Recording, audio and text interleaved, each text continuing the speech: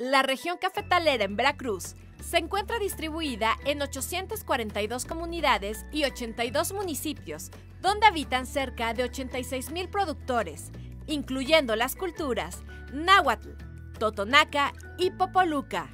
En el territorio cafetalero se distinguen 10 regiones. En la zona norte del estado se encuentra Guayacocotla y Papantla. En la zona centro se encuentra Atzalan, Misantla, Coatepec, Huatusco, Córdoba, Songolica y finalmente en la zona sur comprende Tezonapa y los Tuxtlas.